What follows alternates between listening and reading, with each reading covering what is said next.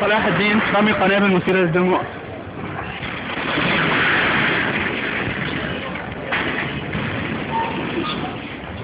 Thank you.